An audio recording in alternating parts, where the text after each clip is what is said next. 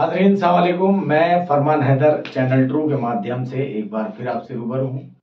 कल हमने हज़रत अली के बारे में बताया था। बल्कि उनके बारे में हम क्या बता सकते हैं? वो शख्सियत ऐसी है कि जिसके बारे में बताना बहुत मुश्किल है। क्योंकि उनकी पूरी ज़िंदगी, ऐसी ज़िंदगी है कि उन्होंने लोगों से कहा कि पूछो, मुझसे जो पूछना है। और मैं दुनिया से ज़्यादा आसमान के रास्तों के बारे में जानता हूँ। जो आजकल हम लोग देखते हैं कि हम चाँद पर पहुँच रहे हैं और सूरज पर पहुँच रहे हैं, और जो अलग अलग जगह ये, जो सितारों पे लोग जा रहे हैं, ये जो सारी चीज़ें, ये सब रास्ते हैं। उस वक्त के लोगों को नहीं मालूम था, मगर आजकल की जो मॉडर्न साइंस है, उसने सब कुछ ज़ाहिर कर दिया कि वहाँ पर भी कुछ है, रास्ते हैं। तो हज़रत अली आज से चौदह सौ साल पहले ये सब चीज़ें कह चुकी हैं। और उनके लिए रसूल खुदा ने खुद कहा था कि मैं इल्म का शहर हूँ, अली उसका दरवाज़ा है। जिसको इल्म चाहिए, वो अली के दरवाजे से आए। उन्नीस रमज़ान की सुबह में हज़रत अली की ज़रबत लगी थी, इबन मुलिम ने ज़रबत मारी थी सुबह की नमाज़ में। उनको घर लाया गया। वो अपनी बेटी के यहाँ मेहमान थे। जनाब उम गुलसूम के यहाँ और उस दिन उनके साथ जो हुआ, वो इबादत में मसरूफ़ थे और बार बार बाहर को आते थे और आसमान की तरफ़ देख के कहते थे हाँ ये वही रात है जिसका मुझसे वादा किया गया जब वो वहाँ से चले तो जो बत्तखें होती हैं, उन्होंने उनका दामन पकड़ा।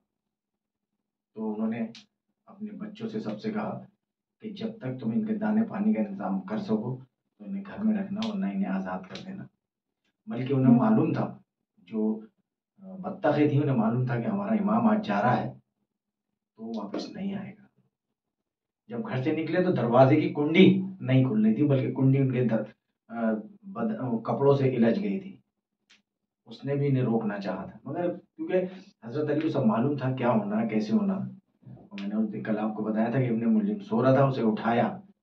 तुम उठो जो काम तुम्हारे तुम्हें करना है उसे अंजाम दो।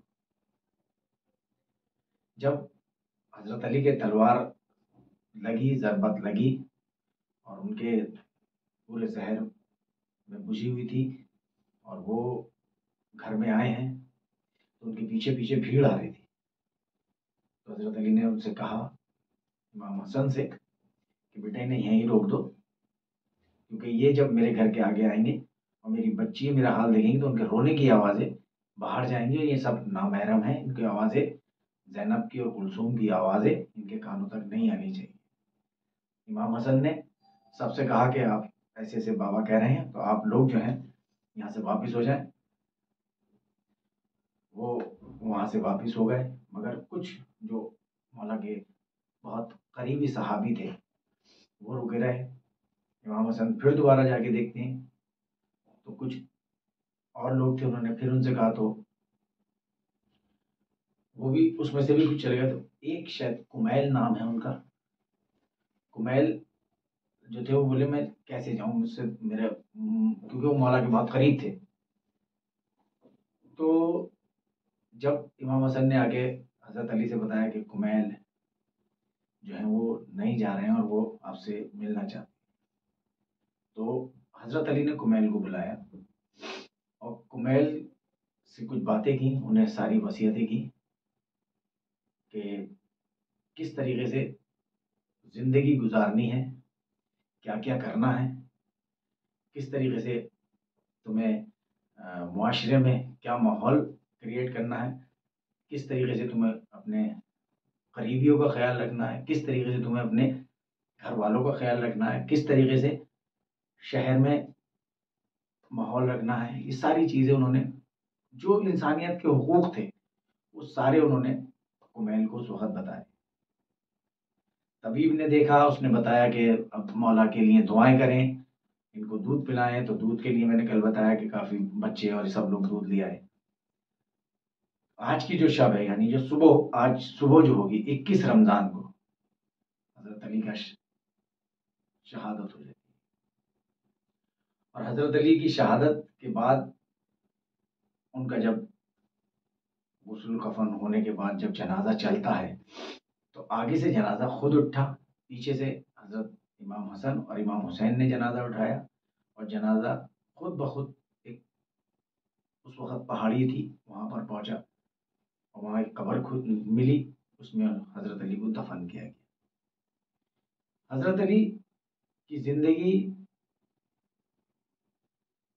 एक किस तरीके की ज़िंदगी बताई जाए, वो रसूल के बाद बस जो रसूल में और उनमें कुछ कमी, रसूल तो खैर रसूल हैं, मगर हज़रत अली को जो अपना जानशीन रसूल ने बनाया तो वो जानते थे कि ये अली ही इस दुनिया को संभाल सकते हैं और अली ही जो है, मेरे जानशीन हैं। मगर रसूल की शहादत के बाद लोगों में तफरका हो गया।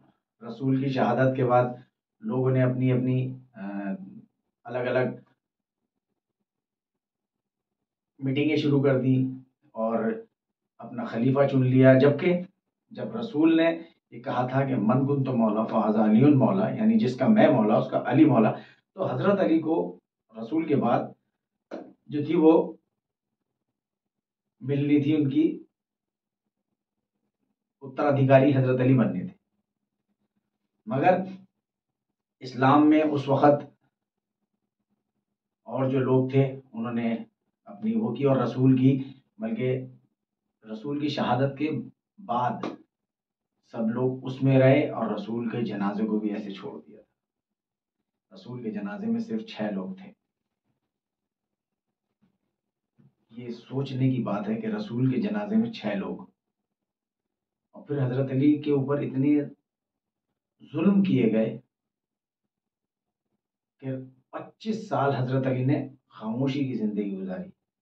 जब जब पहले दूसरे, तीसरे खलीफा कहीं भी अगर उनको कोई परेशानी आती थी तो वो हज़रत अली के पास जाते थे, हज़रत अली उनकी मदद करते थे, उन्हें सब राय मशवरा देते थे।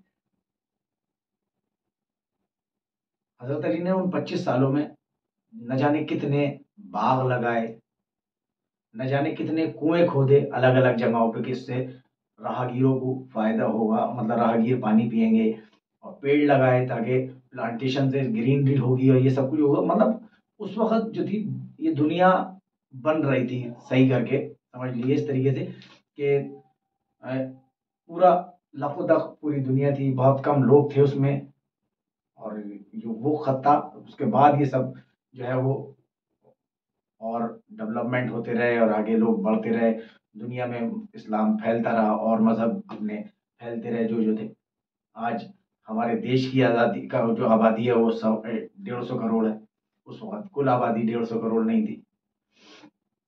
तो हज़रत अली ने जो इंसानियत के लिए काम थे, वो थे, वो काम किए, पच्चीस साल खामोशी से गुजारे और उन्होंने सिर्फ़ यही काम किए। कहीं कुएँ खुदवाए, कहीं कुछ कहीं पे पेड़ लगाए, बाग डेवलप किए, ये सब वो करते रहे।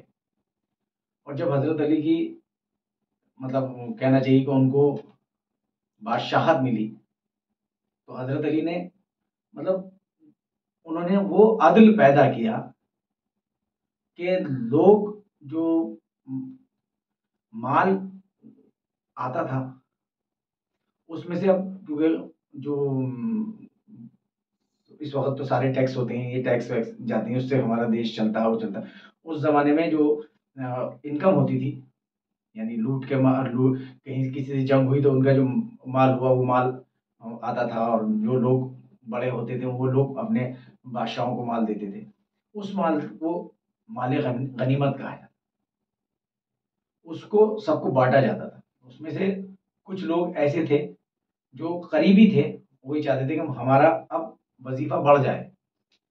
तो एक साहब ने हज़रत अली की जो करीबी रिश्तेदार भी थे वो, उन्होंने हज़रत अली की जो थी दावत की और दावत करके उन्होंने बताया कि भाई ऐसे ऐसे है मेरा जो है थोड़ा सा वजीफा बढ़ा दिया जाए। हज़रत अली ने उनसे पूछा कि तुम्हारा कितने हैं, क्या, कैसे खर्चा? तो बोले, कुछ इतना सा बच जाता। तो बोले, यानी जो बचता है, ये ज़्यादा है तो आपका वजीफा कम हो जाएगा। इस तरीके का उनका निज़ाम था। उनकी नज़र में कोई मज़हब मिलत की बात नहीं थी, सिर्फ़ इंसानियत की बात थी। और यही वजह है हज़रत अली की कि उनका जो अदल था, वो सबके लिए एक था।